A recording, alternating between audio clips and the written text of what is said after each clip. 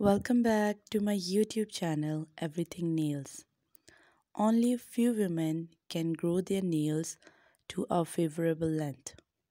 Therefore, it is most likely the nails must be done in an according studio. This fact suits a bimbo well.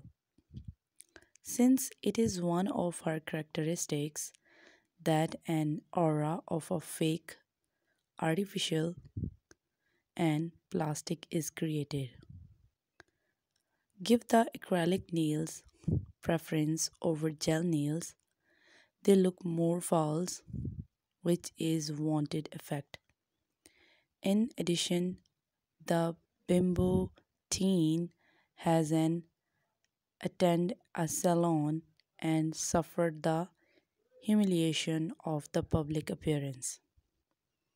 There are few aspects to consider when it comes to to the perfect fingernails.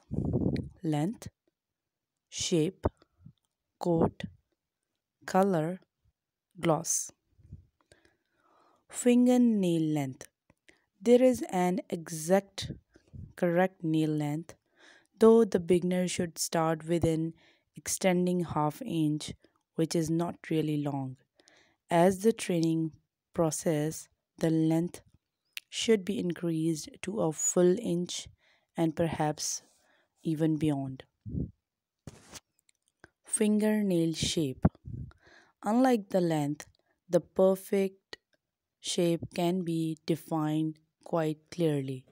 It is something in between square and oval. That means that the corners of the nail are filled with a square type just slightly rounded there and the front edge is barely covered.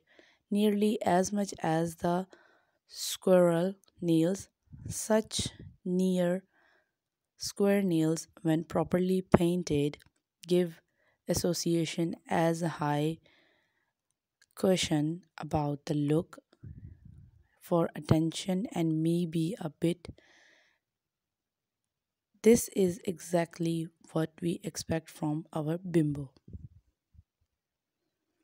Fingernail coat. For a bimbo, a solid or a full color is wanted. French manicure should be avoided. Also, nail color or nail art does not fit to bimbo we want to create the